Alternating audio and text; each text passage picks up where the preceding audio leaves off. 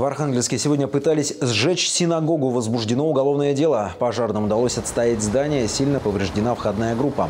Известно, что полиция изъяла видео с камер наблюдения. На съемках видно, как мужчина в маске при помощи автопокрышек и горючего совершил поджог. Здание еврейского культурного центра «Звезда Севера» на улице Гайдара неоднократно пытались повредить еще на этапе строительства. Были и попытки поджога.